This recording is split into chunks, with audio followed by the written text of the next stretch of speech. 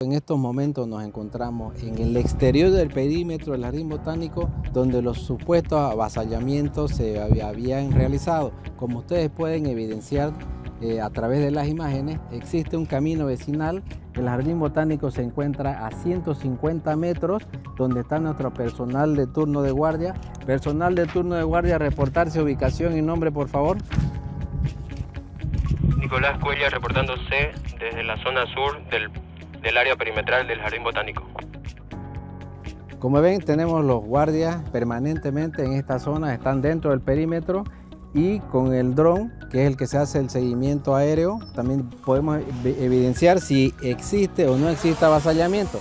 Pero que quede muy claro que la parte sur del fondo del Jardín Botánico Municipal existe un camino vecinal, pueden evidenciar urbanizaciones y los supuestos avasallamientos que dicen ser que pasan están equidistantes a más de 3 kilómetros de distancia del perímetro del Jardín Botánico más los 150 que nos separa del camino vecinal. Con eso damos la tranquilidad a los visitantes y podemos informar a través de, de, nuestras redes de que el Jardín Botánico Municipal no tiene ningún tipo de intromisión ajena ni está avasallado o en peligro.